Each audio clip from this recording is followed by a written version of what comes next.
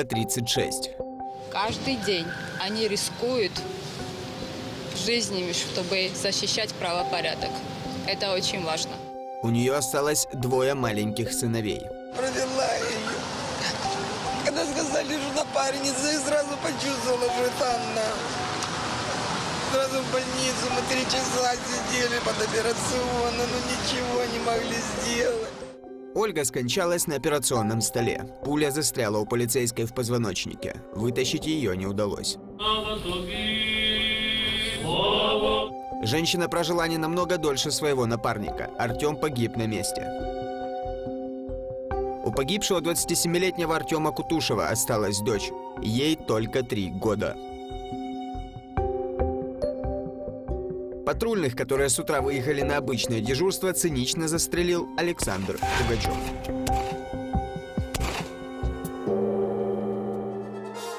Кто же такой Александр Пугачев? Бывший сотрудник МВД, боец батальона «Торнадо» и экс-охранник скандального комбата Руслана Онищенко, попавшего на скамью подсудимых с другими бойцами батальона. В чем обвиняют бойцов «Торнадо»? до надзвичайно жорстоких форм катування Хочу наголосити, як би не було прикро це говорити. Віднесено вчинення статевих, наголошую, статевих злочинів відносно осіб чоловічої статі, особливо збоченій формі. Добровольческие батальоны сдерживали врага на востоке Украины, и если бы не они, то вряд ли страна смогла бы удержать напор террористов. Но, к сожалению, среди добровольческих батальонов попадаются и такие единичные случаи, как в этом. Впрочем, сам Руслан Онищенко теперь опровергает то, что Пугачев был его охранником и правой рукой. Вооружен и очень опасен. Александр Пугачев находился во всеукраинском розыске, когда столкнулся с экипажем полиции и открыл стрельбу. Пугачев – боец самого печально известного батальона среди десятков своих коллег по всей зоне АТО. Если ты мужчина, выйди сюда один на один со мной. Сейчас руководство батальона и несколько рядовых бойцов находятся в СИЗО и умудряются даже там делать все, чтобы не производить впечатление людей, которым пора на волю. Обвинуваченими було порушено порядок судового засідання шляхом обливання всіх учасників процесу, а також зали судових засідань е, невідомою речовиною бурого кольору з ярко вираженим запахом сечі.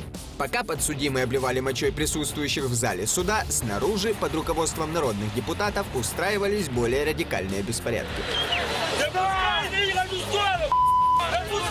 хазяїн торнадо, котрий рахувався там рядовим міліціонером, насправді е, працював в Кабінеті міністрів України на посаді радника віце-прем'єр-міністра. История этого батальона – это сплошные скандалы. Помимо контрабанды, некоторые профильные журналисты указывают на сепаратистский след в действиях добровольцев.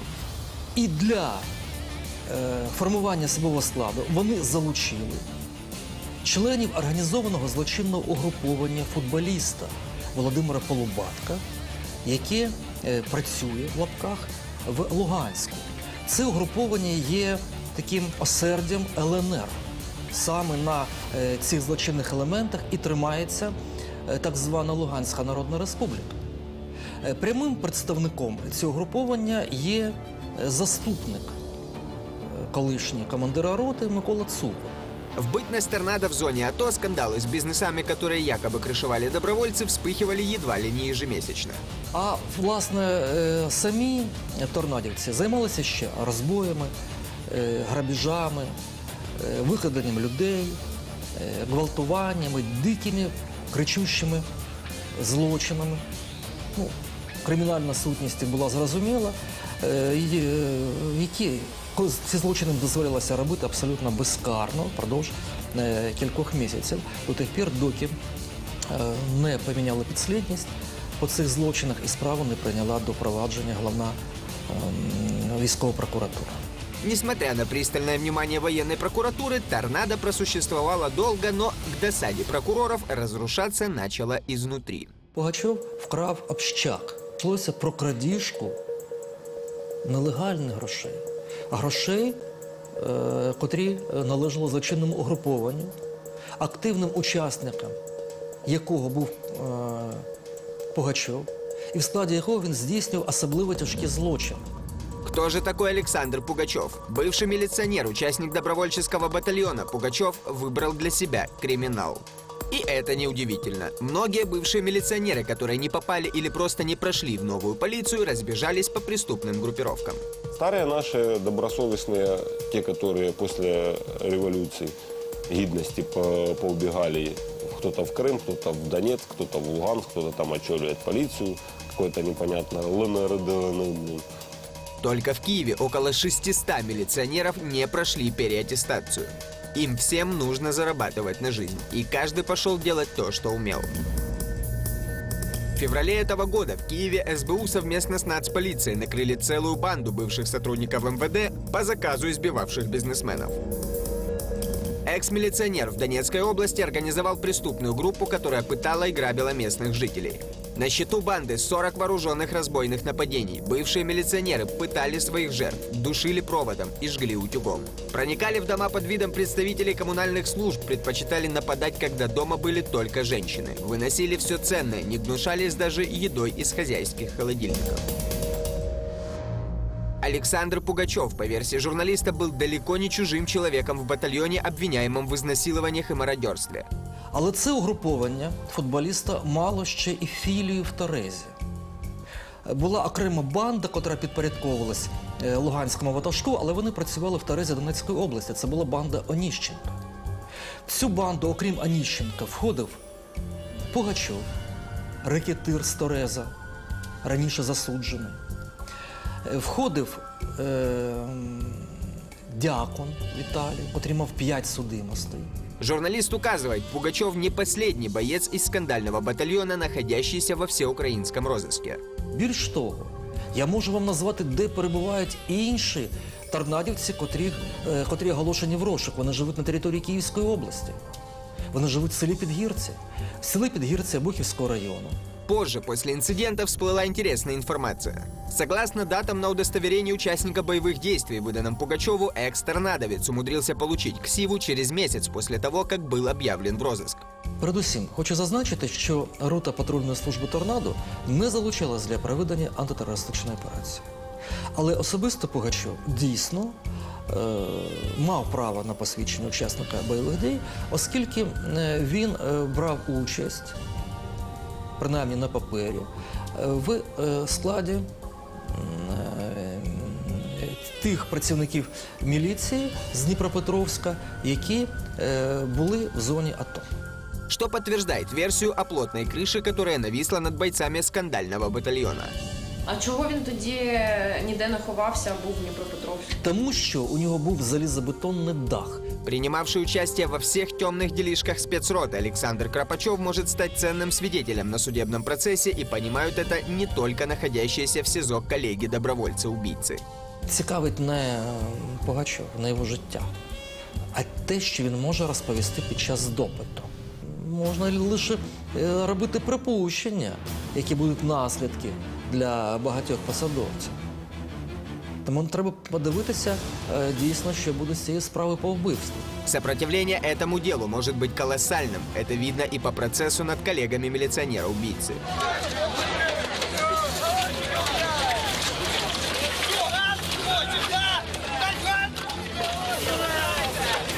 Это понятно из того, как проходил быт Александра Пугачева в то время, когда он находился во всеукраинском розыске.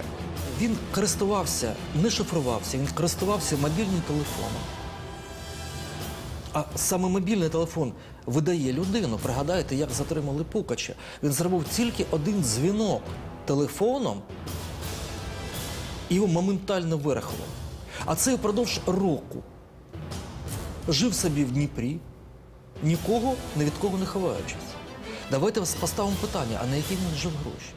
В любом случае, дела над торнадовцами обещают терабайты информации о их преступлениях и огромное количество фамилий пособников добровольцев-оборотней. будуть е, вкладені величезні кошти і величезні докладені зусилля з тим, щоб м, е,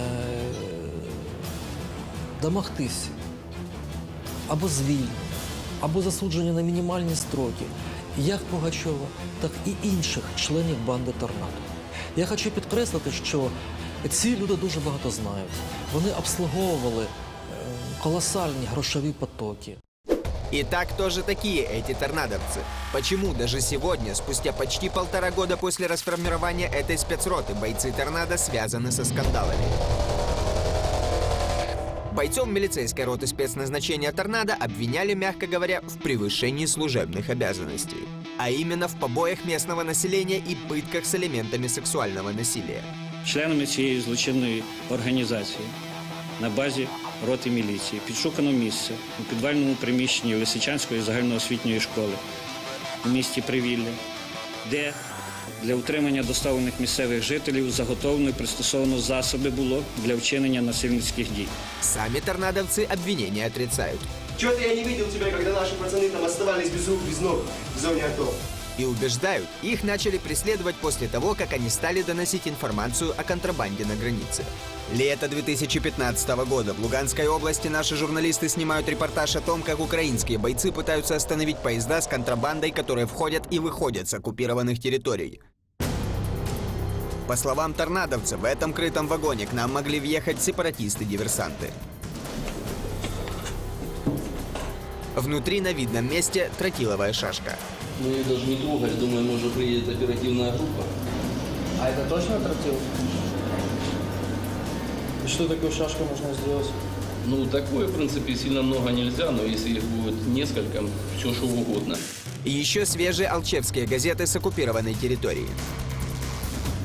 А в стогу сена прямо при нашей съемочной группе находят еще 8 тротиловых шашек. Тротил, шаш. Но куда интереснее оказался груз, который перевозили этим поездом. 11 вагонов завалены дорогущим коксующимся углем, а в 18 вагонах чугунные заготовки. Чугунно. Стоимость чугуна в вагонах более 17 миллионов гривен. Коксующийся уголь тянет еще на 13 миллионов. 30 миллионов гривен только в одном составе. По словам торнадовцев, они постоянно боролись с контрабандой и ловили диверсантов. Впрочем, нельзя исключать, что подобные заявления делались для того, чтобы прикрыть другие свои делишки, за которые потом многие торнадовцы оказались за решеткой. Торнадовцев и раньше резко осуждали за мародерство и насилие на войне. Будучи еще замкомбатом Шахтерска, командир торнадовцев Руслана Нищенко и сам рассказывал, как они жестко боролись с сепаратизмом. Мы обыскивали дома, мы обыскивали дачные участки, частный сектор и тому подобное. Пришлось кое-где стрелять, пришлось кое-где кричать, кое-кого вытягивать. Почему? Потому что люди агрессивно настроены некоторые, не пускают, э, ругаются, э, вплоть до того, что бросаются с палками, с тяпками и с лопатами. Все мы сделали ровно, то есть кто был очень, как говорится, взволнован, тех мы ставили на колени, держали под прицелом и делали свою работу. То есть обыскивали дом и уходили, как говорится, дальше. Мы разыскали бывшего сослуживца Руслана Нищенко. Он воевал в рядах батальона «Шахтерск». Мужчина не называет своего имени и скрывает лицо, чтобы рассказать шокирующие факты про бывших сослуживцев. Спочатку був за ДНР, але прийшли люди певні. Точну інформацію надати не можу, хто прийшов і як. Але почав влазити в його бізнес, віджимати його бізнес. І він став по сторону проти ДНР, на сторону України. Сегодня командир торнадо Руслана Нищенко, его заместитель Николай Цукур и еще несколько бойцов спецроты находятся в Лукьяновском СИЗО. И каждое судебное заседание над торнадовцами превращается в скандал. Вам, червям, которые наживались на нашей крови, делали из войны бизнес. Теперь в копилку скандалов участников батальона «Торнадо» добавился расстрел полицейских в Днепре. Это дерзкое преступление взбудоражило всю страну. Наглое убийство молодого патрульного и его напарницы около 10 утра на автовокзале Днепра. Вот кадры с нагрудной камеры наблюдения Артема Кутушева. В 9.40 экипаж полиции остановил автомобиль за нарушение правил дорожного движения. Ехали на красный свет, с Горького повернули направо.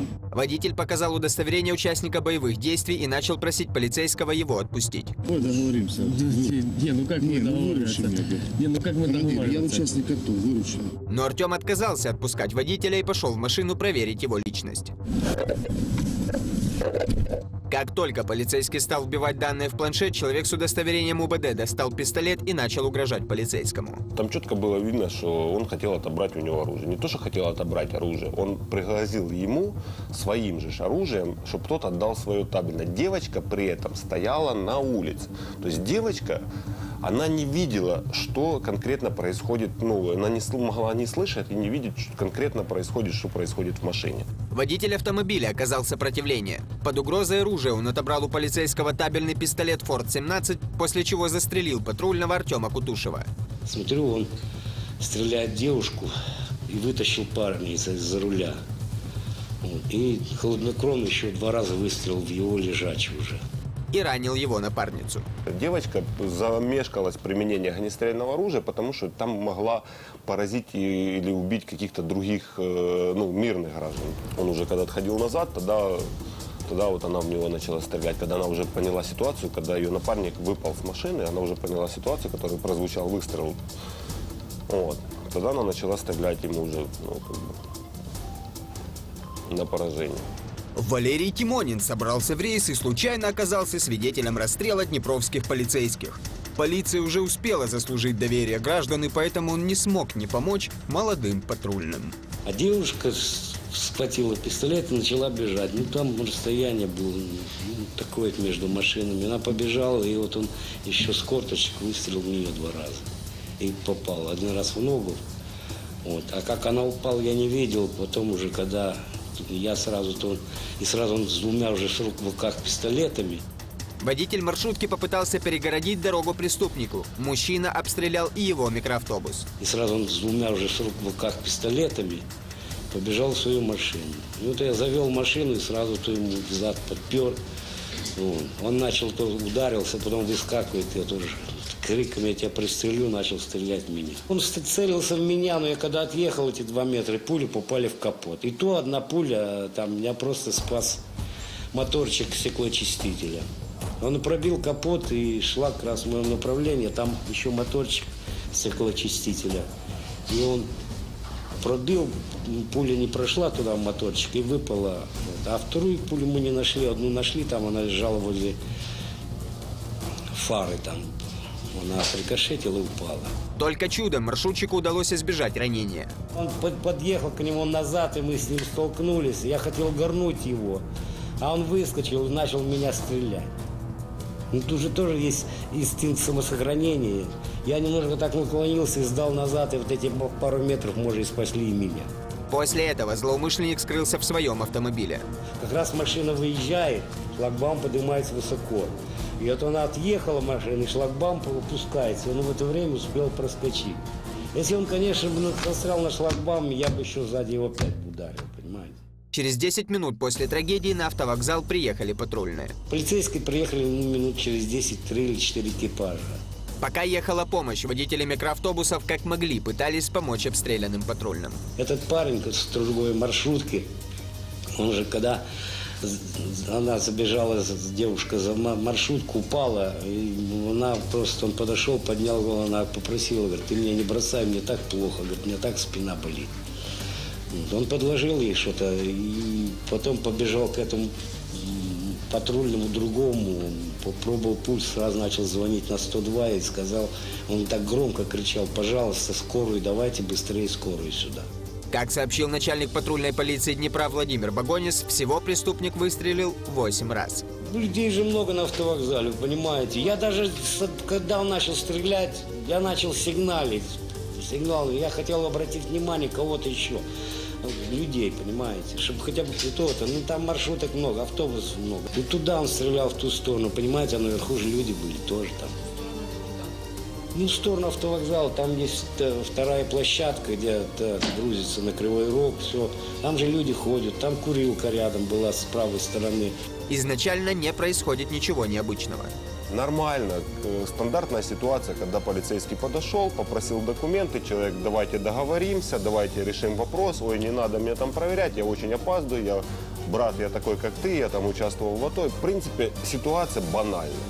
По версии МВД, причиной убийства полицейских стало то, что преступник находился в розыске и не хотел, чтобы патрульные это обнаружили.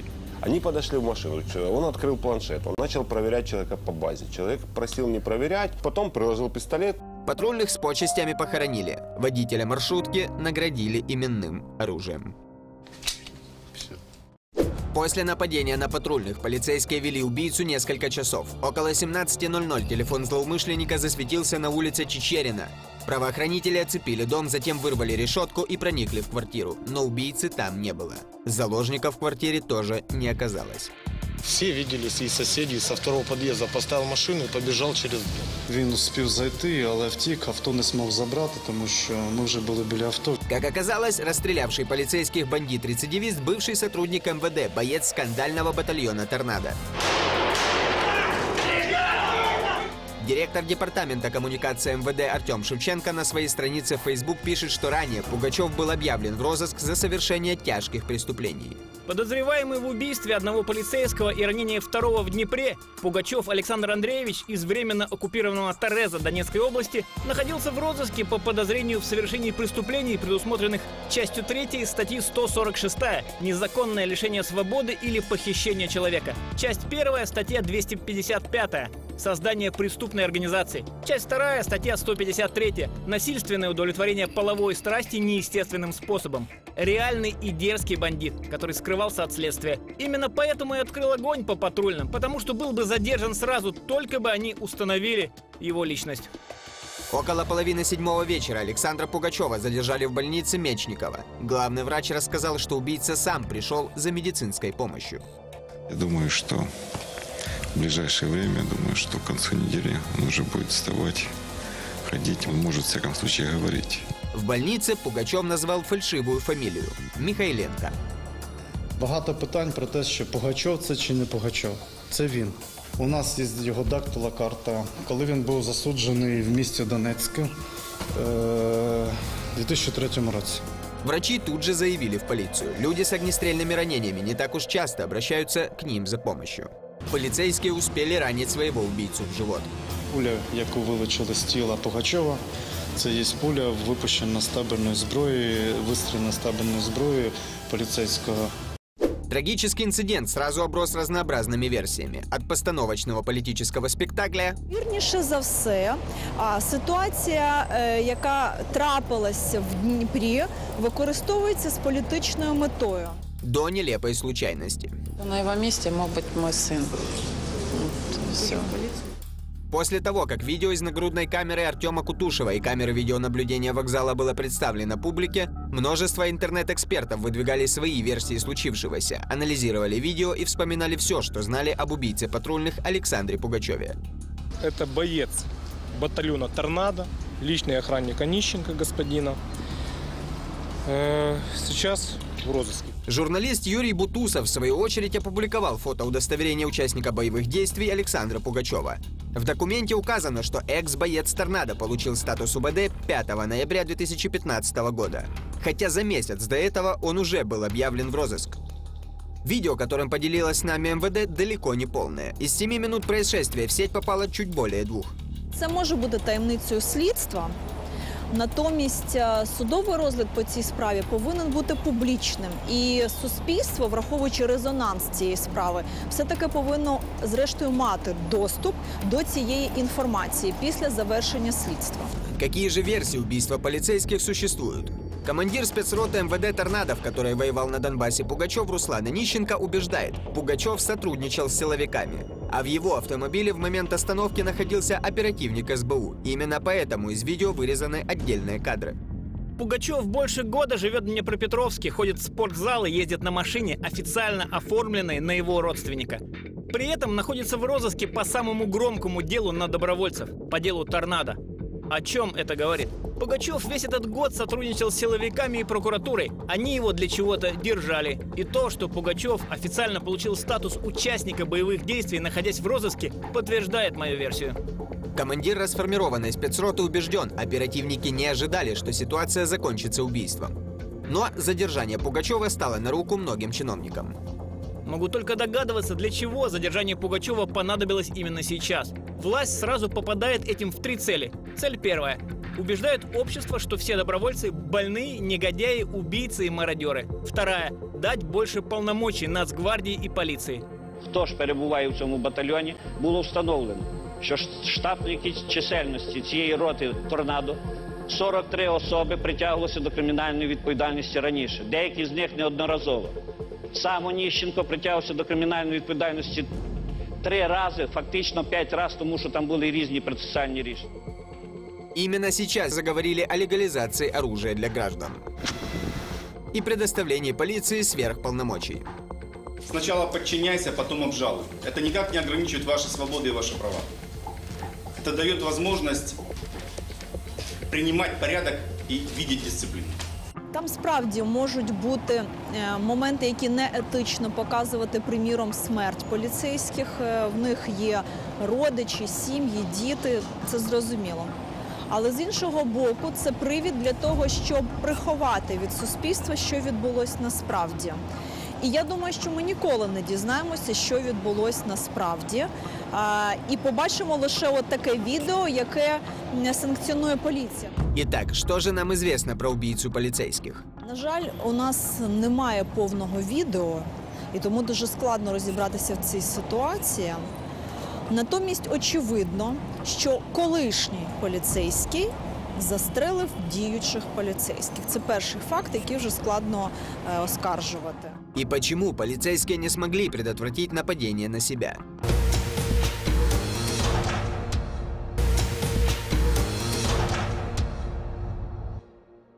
Почему полицейские не смогли предотвратить нападение на себя? Другий факт це те, що за законом поліцейські мали право у разі загрози їхньому життю і збройного опору застосовувати вогнепальну зброю навіть без попередження. Ведь по закону о национальной полиции у патрульных достаточно много возможностей противодействовать преступникам. Поліція на сьогоднішній день має право застосовувати фізичну силу, спецзасоби і вогнепальну зброю. Спецзасоби це е, гумові кийки, е, це кайданки, е, це сльозогінний газ, це навіть гранати, і це навіть це можуть бути шумові гранати, можуть бути інші для того, щоб приймати перешкоди, відкривати якісь приміщення. І е, поліція має право в е, окремих випадках навіть без попередження застосовувати і спецзасоби, і вогнепальну зброю. Почему же полицейские не воспользовались таким большим арсеналом возможностей? У нас много проблем. Это гигантские вызовы. С этими вызовами мы не справимся без четкой системы правоохранительных органов.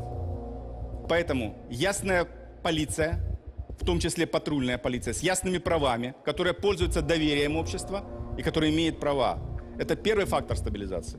Тобто їхні повноваження досить широкі, і це встановлюється законом про національну поліцію. Власне, це поліцейські і зробили. А, Натомість ситуація закінчилась ось так трагічно, тому що а, в протидії зі злочинцями так трапляється. Злочинці це підготовлені люди. Но, в отличие от злодеев и бандитов, полицейские оказались не такими подготовленными. Злоумышленник, который очень хорошо владеет оружием, то, что я сейчас на видео смотрела, да, а, он выходит и реально вот сбоку застреливает патрульного полицейского. В условиях войны и острой необходимости в реформах полицейских просто не успевают идеально подготовить. После э, революции гидности у нас такая правоохранительная система перестала существовать. Для этого надо было что-то реформировать и что-то давать народу, и чтобы народ более-менее спал спокойно, не переживал, поэтому появилась патрульная полиция. Молодые люди в рекордные сроки прошли обучение и вышли на улицы охранять порядок и бороться с преступностью. Набивают шишки прямо в ходе патрулирования. Это люди, которые 95% это э, с патрульной полицией общаются граждане. То есть это люди, которые как бы буфер всей системы, которые принимают, э, принимают все практически заявления. Если мы хотим изменений, мы должны доверять, мы должны дать возможность осуществиться изменениям. Я не принимаю никак парадигму о том, что вот теперь пусть полиция изменится сначала, а потом и мы будем меняться. Так не получится, это замкнутый круг. Нам нужно дать возможность новым правилам и новым ребятам изменить порядок вещей. И хотя в новостях регулярно сообщают о происшествиях с полицейскими, к новой полиции, которая так сильно отличается от бывших ментов, с каждым месяцем все больше доверия и уважения. С начала года в Украине погибло 12 полицейских. Именно такому количеству семей полицейских выплачена одноразовая денежная помощь.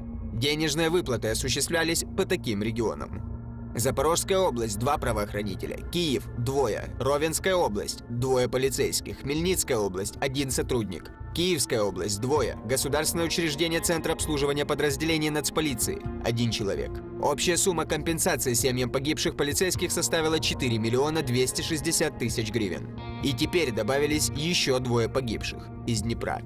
Я очень надеюсь, дорогие мои украинцы, что вы будете думать о том, какая нам нужна страна. Цивилизованная или бандитская страна, когда мы каждому полицейскому говорим, не-не, что вы хотите, не проверяйте мои документы. Все наши любят приравнивать полицию к штатовским. Штатам полицейского готовят очень большее количество времени. Ну, не два месяца, как у нас. Вот американский коп из голливудских фильмов. А вот тот же американский коп, только в жизни. И сколько бы ни смеялись над американскими полицейскими, они все равно вызывают доверие у американского общества. Thank you.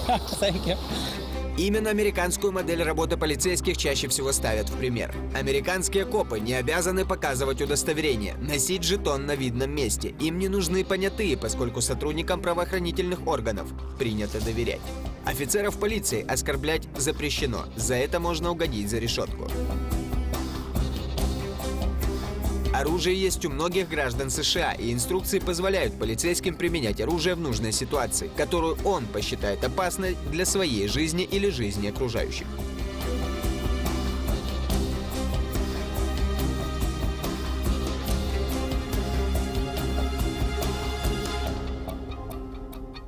Полицейский, подходя, уже понимает, что 100% может быть человек в машине вооружен.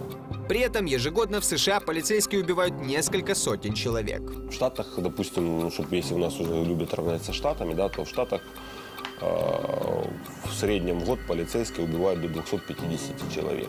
Американский коп знает, что у любого, с кем он имеет дело, может оказаться заряженный пистолет. Он, когда останавливает, уже видит, что он будет, ну, понимает, что он должен остановить это транспортное средство, включает мигалки, он включается в него автоматом, включаются все камеры, которые пишут в машине. Он передает в радиоэфир своим напарникам, что он остановил такую-то, такую-то машину на пересечении таких-то, таких-то улиц. То есть он диктует адрес, он страхует. Эксперт объясняет, как именно американские полицейские подходят к водителю остановленной машины. Прежде чем подойти к машине, он сначала просит, он сначала касается ее э, задней части машины, то есть багажника, вот рукой, для того, чтобы поставить свои отпечатки пальцев на машине. Вот для того, чтобы если вдруг что-то произойдет, чтобы могли его как-то идентифицировать, ну, то есть найти. Потом он смотрит в зеркало, видишь через зеркало э, водителя. То есть он дает четко указивку руки положить на руль. Это не оговаривается в каких случаях. Он не подойдет и не начнет с тобой вести диалог, пока он не увидит, э, что ты полностью, как бы, что он полностью безопасен. Вот после чего он начинает э, вести диалог. Для того, чтобы полицейский действовал так не задумываясь, их тренируют несколько лет. Американских копов готовят по разной программе, по разным там и полтора, и год, и два с половиной года, и три года готовят. В европейских странах полицейским рекомендуют избегать применения оружия. Доставать пистолет можно только в крайнем случае. Полицейский его может применять там исключительно в- там, минимально для самообороны в основном и для защиты граждан, э, вернее, для защиты охраняемого лица. В Ирландии, Новой Зеландии, Норвегии полицейские вообще не носят оружие. Пистолет лежит в автомобиле на крайний случай. В Европе, допустим, в Европе довольно к оружию, допустим, относятся по-другому. В некоторых странах э, полицейские вообще не имеют при себе табельного огнестрельного оружия, они имеют его только в машине. Им запрещено его носить. Европейских полицейских учат тоже немало. Ситуации отработаны до автоматизма. Но и тут полицейские страдают от неадекватных граждан. Пару лет назад в Британии полицейских взорвали просто на улице. Та же самая ситуация произошла, вызвали полицейских на вызов. Вот, они ехали на вызов, ну, бросили, приехали на ложный вызов, им бросили гранату, расстреляли. Два полицейских погибло. По статистике, в год в Америке и в странах Евросоюза гибнут до полусотни полицейских. Человек 30-40 гибнет в Штатах, тоже полицейских. Это не только в Штатах такая статистика. В Украине на обучение сотрудников патрульной полиции отводится два месяца. Дальше практика на улицах города. В условиях войны долго обучать патрульных просто невозможно. Порядок нужен здесь и сейчас. Два месяца, в принципе, в стране, которая воюет, это, в принципе, реально для того, чтобы хотя бы хоть как-то сдерживать правопорядок. Для того, чтобы полицейский понимал, какая ситуация может ли произойти на дороге, да, достаточно. Ну, то есть объяснить, начитать, два месяца достаточно. Отработать все ситуации, полностью отработать, смоделировать их, отрабатывать, ну, это два месяца, это очень мало. Ну, в основном все происходит на практике. И полицейские каждый день решают новые задачи и набираются опыта. Каждый день в Украине происходят инциденты с оружием. Нелегальных стволов в мирной части страны никто не сможет пересчитать. Это очень много оружия.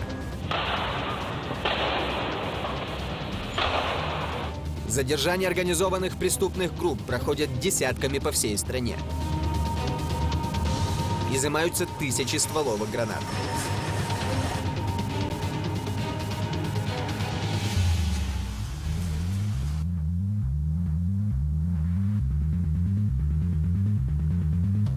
Я на власні вуха чув, як Луценко на засіданні е, профільного комітету Верховної Ради, я просто був присутнім, повідомив про те, що злочинність Києва збільшилась на 100%. Задержуються десятки преступних групп.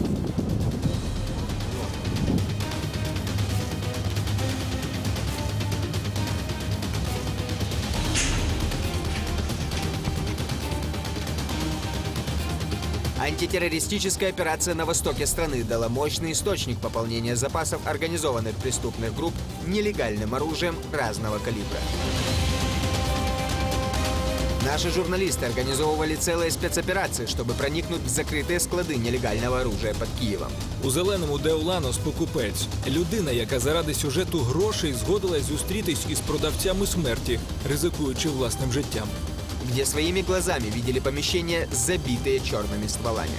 Як заведено на ринку зброї, усі ціни в доларах. Я так что понимаю, этот самый автомат и, и 700 за 700 это в подробнее, да, в комплекте или нет? Э, не, ну, э, по, по, сколько патронов? Один Пожалуйста, один Коробку этих патронов положи, все, верьте. От такої забудьте про одиничний вивіз зброї з-під Донецька. Найпопулярніші позиції: автомат Калашнікова із комплектом ріжків, патрони калібру 7,62 і гранати типу РГО у асортименті цілодобово.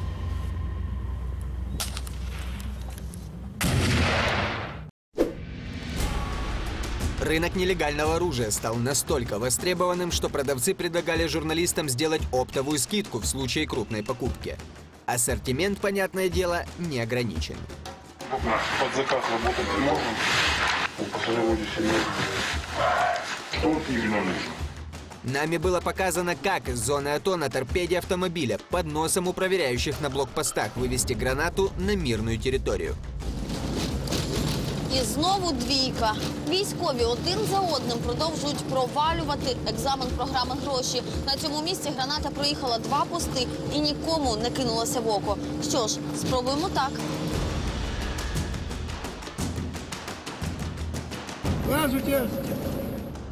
Впрочем, основной проблемы это, как видите, не решило. Статистика оружия среди населения насчитывает около 800 тысяч легальных стволов. Динамика покупок говорит о том, что гладкоствольное оружие за последние два года стали покупать на 5% меньше украинцев. В то же время нарезные стволы стали продаваться на 15% лучше.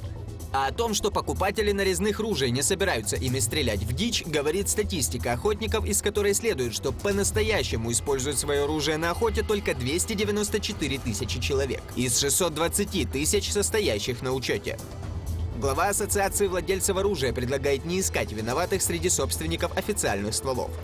Большинство из купивших легальное нарезное оружие делают это ради безопасности. Не буде людина використовувати в злочинних цілях, а пістолет, за який він за кожен постріл несе відповідальність. Це ж проста логіка. Доступ к оружию из зоны АТО значительно упрощает жизнь только представителям криминального мира. Ніколи ніхто ніде з легальної зброї в усьому світі не стріляє. А в качестве противодействия нелегальным стволам глава ассоциации предлагает вооружить всех украинцев легальным короткоствольным оружием. Трагический случай в Днепре, по его мнению, только добавляет необходимости в легализации короткого ствола. Безумовно, коли на поліцейського наставляють ствол, як і на будь-яку людину, він мусить стріляти у відповідь. Тільки поліцейський має ствол, а ми з вами не маємо. Якщо на нас з вами от такий персонаж наст- наставить ствол, ми будемо виконувати все, що він скаже. По их мнению, кривая украинской преступности должна измениться в лучшую сторону, если каждый человек будет иметь законную возможность защитить себя с помощью боевого пистолета. Так сказать, порядок в стране руками самих граждан. Зараз поміж е, нами з вами і оператором виник конфлікт. Оператор витягнув пістолета і погрожує нам з вами наші з вами дії. Викличемо поліцію е, в великому місті і почекаємо, скільки вони приїдуть. Потім подумаємо, скільки за цей час можна штрикнути людину ножем, а вдарити бітою по голові, скільки куль можна випустити в людину. Настаивая на внедрении в Украине адаптированного аналога второй поправки в Конституцию США, эти парни ставят в пример уровень правопорядка в странах первого мира, где граждане вооружены, а закон позволяет применять оружие по отношению к преступникам. Однако оружейные магазины на каждом углу и регулярные перестрелки между гражданскими в самой Америке вызывают желание пересмотреть поправку, разрешающую свободное ношение оружия. Впрочем, следует отметить, что последняя попытка успешно провалилась еще в начале лета. Каждый раз одно и то же. После каждой трагедии мы, демократы, пытаемся принять разумные меры безопасности по ношению оружия. К сожалению, наши попытки блокируются республиканским конгрессом, получающим указания Национальной стрелковой ассоциации, заявил лидер демократов в Сенате Гарри Рид. Будь в Украине закон о свободном ношении оружия, водитель маршрутки, который пытался противостоять преступнику, мог бы остановить его значительно более простым способом. Следом при комплексном подходе стала бы неактуальна проблема рейдерских захватов бизнеса, процветающая в Украине. Ми щодня чуємо про те, що е, віджали у- у- урожай у аграріїв, е, рейдерське захоплення того чи іншого приміщення. Там колектори викинули з хати, е, хоча всі документи були нормальні, там колишнього платника того кредиту. Хто хоч копійку сюди вкине, якщо немає гарантій? Но внедрить такие правила игры мешает не только Верховная Рада. Как показывают социологические исследования, украинцы в своей массе не желают носить при себе стволы. Однако, несмотря на это, закон о разрешении ношения оружия уже внесен на рассмотрение в Верховную Раду. Ми просто е, для себе чітко знаємо, що не можна зупинити розвиток історії. Тобто цей закон життєво необхідний. І врешті-решт ну, має вистачати здорового глузду. Ми єдина країна, де не врегульовано це питання в Європі. Теперь украинцев ждут, скорее всего, не менее скандальные судебные заседания над Александром Пугачевым, хладнокровно расстрелявшим днепровских полицейских. В деле об этом жутком убийстве нет ясности. Полная версия видеоубийства патрульных полицейских в Днепре опубликована не будет. Как сообщили в МВД, в первую очередь по морально-этическим причинам. Надеюсь, все понимают, что полную версию видео обнародовать нельзя, учитывая прежде всего нравственно-моральные причины. На нем зафиксирована предсмертная агония истекающего кровью патрульного Кутушева, который смог подняться на ноги, сесть в машину и там умер. Артем Шевченко. Но так ли это на самом деле? Какая из версий убийства подтвердится? Хорошо спланированная спецоперация спецслужб или просто недостаток подготовки полицейских? Неужели то, что такие, как Пугачев, остаются на свободе, действительно выгодно власти и высокие чины умело используют бандитов в своих целях? Убийца полицейских спокойно ходил по городу даже после того, как его объявили в розыск. Дело об убийстве полицейских в Днепре вскрывает одну проблему за другой. Это не просто убийство, нелепая случайность, масса проблем, оборот нелегального оружия в стране, бывшие милиционеры-бандиты, которые как могут зарабатывают на жизнь, добровольческие батальоны с сомнительной репутацией и корыстные высшие чиновники, для которых смерть человека просто еще одна ступенька к достижению своих целей, сплелись в один клубок. Осталось просто потянуть за ниточку. Конечно же, полиция должна защищать граждан и иметь для этого все полномочия. Но в условиях войны это сделать не так-то просто. Полицейским тоже нужна защита, ведь любой, кого остановит патруль за самое незначительное нарушение, может оказаться атошником, вооруженным до зубов. Реакция полиции должна быть адекватна угрозе, которая исходит, и для этого, может быть, действительно нужно расширить их полномочия. И еще, для того, чтобы избежать подобных трагедий в дальнейшем, нужно немного. Проводить обязательную адаптацию ветеранов АТО и установить контроль за оборотом оружия в Украине.